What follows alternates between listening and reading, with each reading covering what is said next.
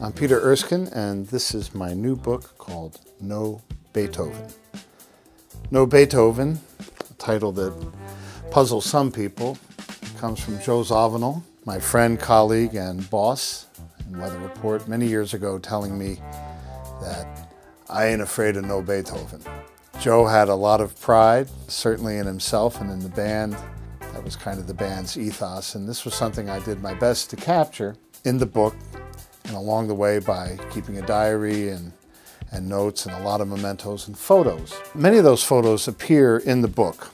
In the print version, if you are an analog type person, you can check out photos in the Kindle. The color Kindle device, such as the Kindle Fire, for those of you who are truly dedicated to digital, the iPad Enhanced Edition is, uh, is really the best way to experience No Beethoven. For example, and this is what I want to explain to folks who might have the iPad, you can swipe and access different photos. You can push one of the thumbnail representations and access the photo that way. Uh, but you might think that that's the end of it, 10 photos.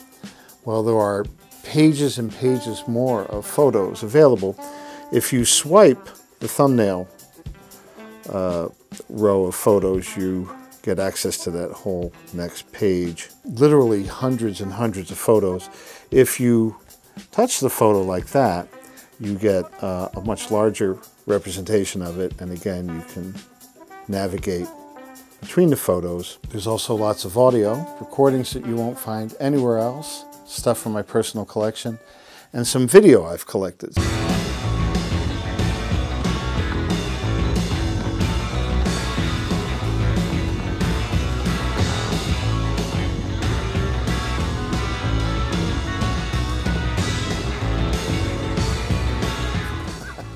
So I hope you enjoy No Beethoven and it's analog, mildly digital, yet more so digital or completely digital butt kicking format in the iPad. Thanks.